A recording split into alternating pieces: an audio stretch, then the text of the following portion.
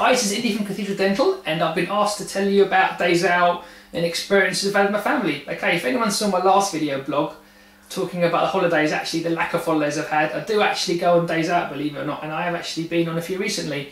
Went out to London for the weekend with my wife and little girl, and we did lots of exciting things. We saw all the sights, even though I've been to London a lot of times. It was actually quite nice going there again because the last time I actually saw all the sights was a long, long time ago. We went to Hamleys. My little girl loved that.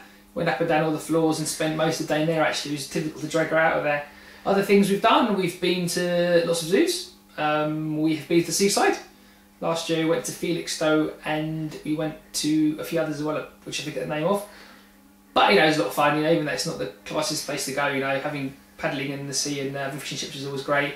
Um, we've got lots of things planned this year as well. Um, now when girl's getting a little bit older, she's three and a half, four, she can do more things. So we'll go to museums, etc., parks and things. So you know, lots of uh, interesting things planned. Well, I don't plan it. My wife plans it. I just do as I'm told, as most blokes are probably aware of. Okay, anyway, I'll leave it there. If you want more information about the practice or book an appointment, give us a shout. at cathedraldental.com.